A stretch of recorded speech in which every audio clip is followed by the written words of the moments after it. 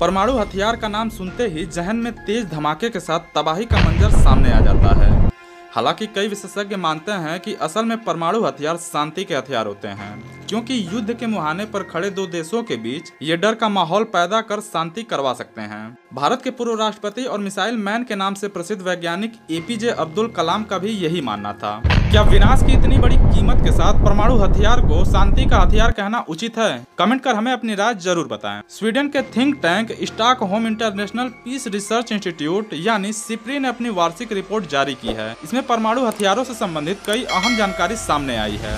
और इसी रिपोर्ट से मालूम चला है की चीन और पाकिस्तान के पास भारत से कहीं ज़्यादा परमाणु हथियार है। सिप्री के इस रिपोर्ट के अनुसार मौजूदा वक्त में भारत के पास एक सौ छप्पन परमाणु हथियार है और पाकिस्तान के पास एक सौ पैंसठ। और चीन इस मामले में 350 परमाणु हथियारों के साथ भारत से कई कदम आगे है। यही वजह है कि भारत परमाणु हथियारों से लैस होने के बाद भी चिंतित हो रहा है। भारत की पाकिस्तान और चीन इन दोनों देशों के साथ सीमा विवाद दिन प्रतिदिन बढ़ता जा रहा है। वहीं खतरे की बात यह है कि इन दोनों पड़ोसी देशों में हथियारों और सरकार पर नियंत्रण इनकी सेना के पास है, जो कि भारत के लिए खतरनाक है। ऐसे ही इन्फॉर्मेटिव वीडियो देखने के लिए हमारे चैनल को सब्सक्राइब कर बेल आइकन को प्रेस कर दें और वीडियो अच्छी लगी हो तो वीडियो को लाइक और शेयर कर दें।